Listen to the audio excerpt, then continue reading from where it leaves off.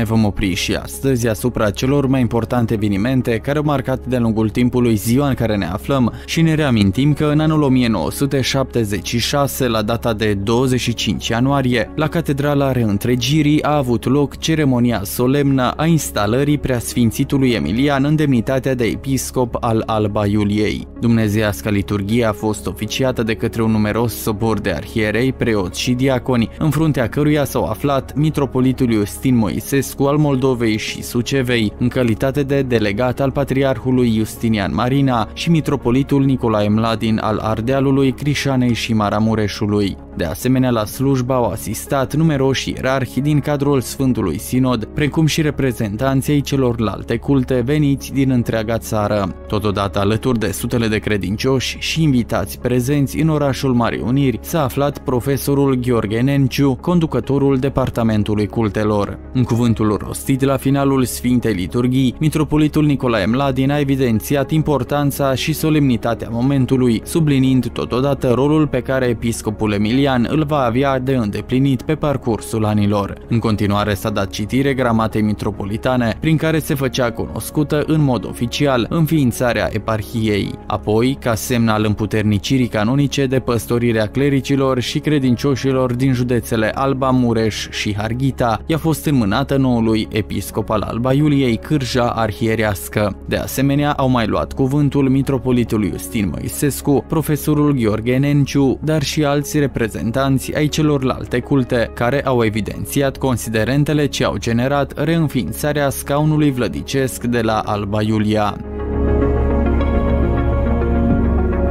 De asemenea, tot pe data de 25 ianuarie în anul 2018 a trecut la cele veșnice Neagu Giuvara. Recunoscut ca fiind unul dintre ultimii aristocrații ai României, Neagu Giuvara și-a obținut licența în istorie la Sorbona în 1937, urmând ca trei ani mai târziu să devină doctor în drept la Paris. Tot la Paris și-a luat doctoratul în filozofie în anul 1972, pentru ca 15 ani mai târziu să primească diploma Institutului Institutului Național de Limbi și Civilizații Orientale din Paris. A urmat exilul în capitala franceză, unde a fost secretar general al Comitetului de Asistență a Refugiaților Români, colaborând în tot acest timp cu Radio România Liberă, precum și cu numeroase alte fundații. După Revoluția din 1989, Neagu Giuvara a revenit în România, unde a fost profesor asociat la Universitatea din București până în 1998 un susținător al cercetărilor referitoare la istoria românilor, preocupat în special de filosofia istoriei, Neagu Giuvara a scris 20 de volume de specialitate și memorii. În 2006 a fost decorat cu Ordinul Național Serviciul Credincios în grad de Mare Cruce, iar în 2010 ambasadorul Franței la București l-a decorat cu Ordinul Artelor și Literelor în grad de ofițer.